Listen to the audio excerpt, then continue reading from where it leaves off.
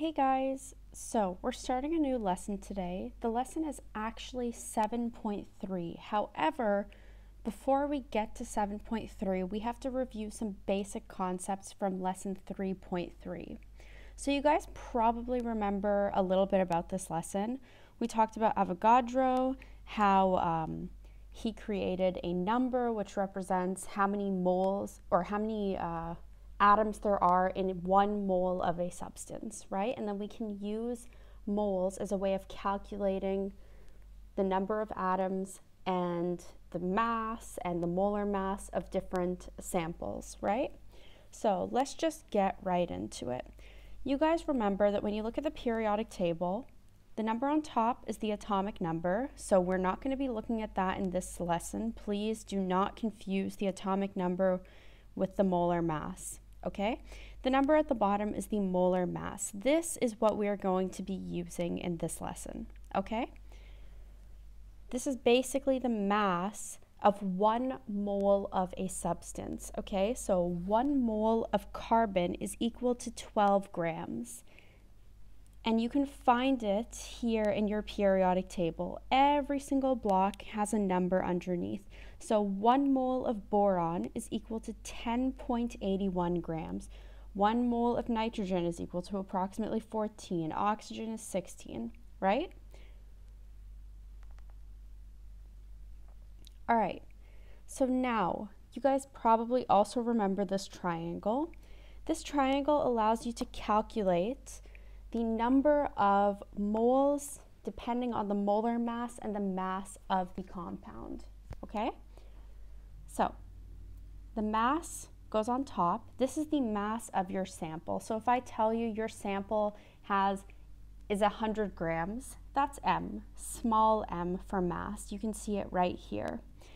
Now the moles is the actual unit that we're usually using to represent atoms right? And then the molar mass is what you find in your periodic table. So this number right here is pretty much always going to be given to you. You're never going to have to wonder about it because it's going to be right here underneath whichever substance we're talking about. So if I'm asking you, um, what is the molar mass of fluorine? You'll say here, 19 grams per mole, okay? Remember, units are very important in these calculations. Remember to always include your units. You will lose marks if you're not including proper units. So the units of molar mass are grams per mole. This means how many grams of this substance make up one mole of that substance. All right? And the mass is in grams and the moles is in MOL, which is just mole. Okay? You have to remember that a mole is just um, a specific number of atoms that all weigh a specific amount. So one mole of carbon has 6.022 times 10 to the power 23 atoms of carbon. And the same thing applies to all moles. So one mole of oxygen also contains 6.022 times 10 to the power 23 atoms of oxygen, okay? And that is all represented right here by Avogadro's number. So Avogadro's number basically tells you how many atoms are in one mole of this substance. While here we were talking about how many grams are in one more mole of the substance. Okay? So you would use this triangle to find your number of particles or the number of moles in a specific number of particles. Avogadro's number is a constant, meaning it will never change. You're always going to know what Avogadro's number is. Okay? All right, so how about we try some questions here? Okay? All right, so you can see that I just provided you with the block of the periodic table. However, if this was not provided for you, you just go into the periodic table, find copper, which is right here, and go ahead and write it. Just remember, different periodic tables are going to give you different decimal places of numbers. So you see, for example, in the periodic table in your book, it says 15.999, while here it just says 16. So don't worry, your numbers might be a little bit different, but that's okay. If it makes it easier, just stick to the periodic table that I have given you. All right, so the first thing we need to do here, you need to read the question carefully. What is the mass in grams? So we're looking for mass, right? Of 3.5 moles of the element copper. So I know right here, let's go with our givens. What is given to us? I know N is equal to 3.50 moles, okay? Remember, N, this is moles. And if you ever get confused, you can just go back here to your periodic, right, sorry. If you get confused, I have provided you guys with this image, which will make things a lot easier. So you can see here that N is equal to moles, M is equal to mass, and big M, or capital M, is equal to molar mass. Okay? All right, so I know my number of moles, and even though it's not written in the question, I also know my molar mass, right? See this? This is molar mass. Now you're probably wondering, how can I find my molar mass? Well, it is literally right here. And if I did not provide you with this, you just go here and you find it here in copper, okay? All right, so, and big M is equal to 63.5 5. Let's just round it up to 5, 5, okay? And this is in grams per mole. And we are looking for small m, because the question says we're looking for mass, right? So now let's derive an equation using this triangle right here. As you guys can see, we're looking for little m, which means that we have to multiply the molar mass by the number of moles. So small m equals 2 molar mass times number of moles.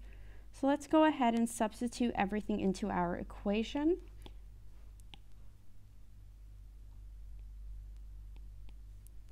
Sixty-three point fifty-five times 3.50 equals to approximately 222 grams of copper, okay?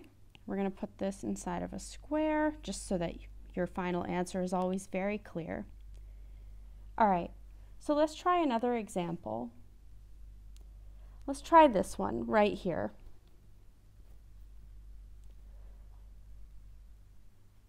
All right, so the first thing, we got to read the question. A chemist produces 11.9 grams of aluminum. This is not a molar mass. This is your little m. That's because this is not the same number as this. So obviously this is just the mass of your substance. The mass of your substance can change because it depends on how much of it you actually have, right? So you can have 100 grams of aluminum or you can have 10. It really doesn't matter. It just depends on the situation. All right? So how many moles of aluminum are we looking for, right? So here in my unknown, I know that I'm looking for N, okay? And I have small m, which is 11.9 grams.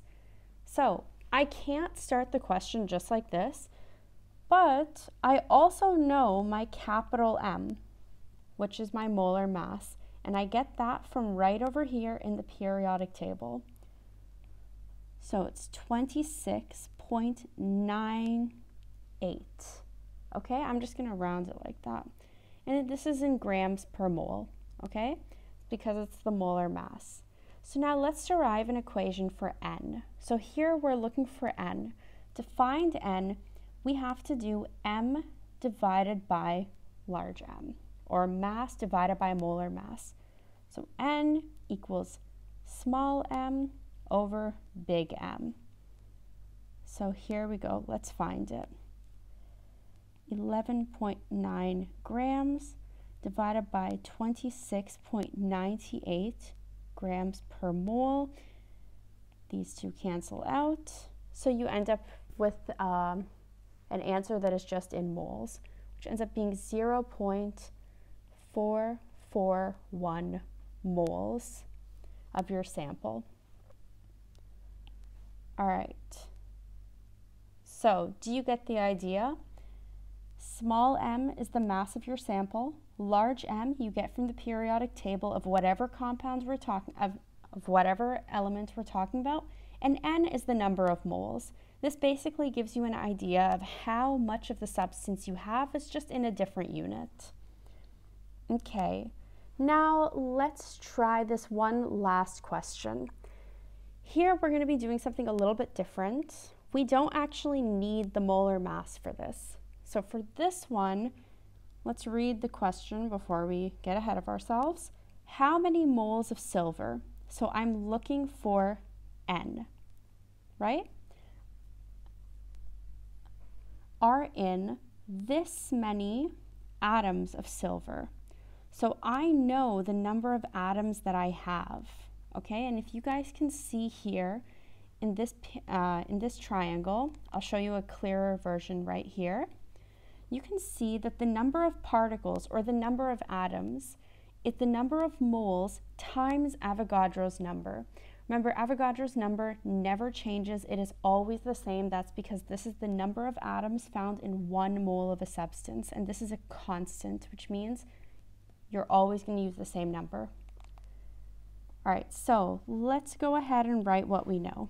So I know that my number of particles, let's just say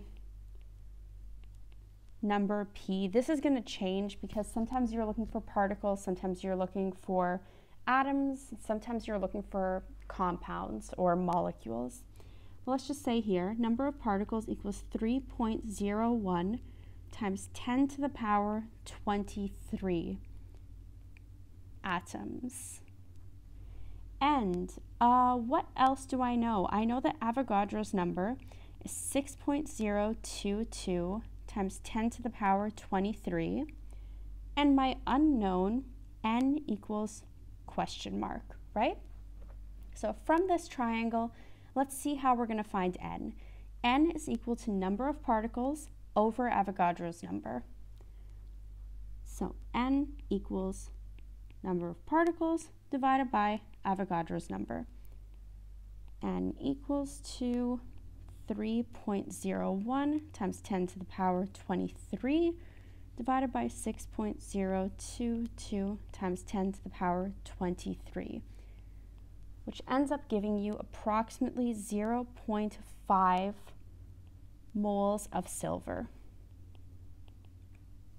Perfect. All right, so depending on the situation, you're gonna use different triangles. If you see atoms or particles or anything like that in the question, you need to automatically know that we're gonna use this triangle. If you see uh, mass or molar mass, as soon as you see the word mass, you know that you need to turn to this triangle.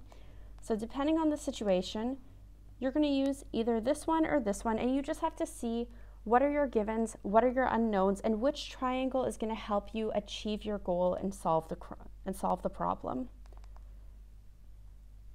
All right, so guys, now go ahead and if you have any questions, you can rewatch the video.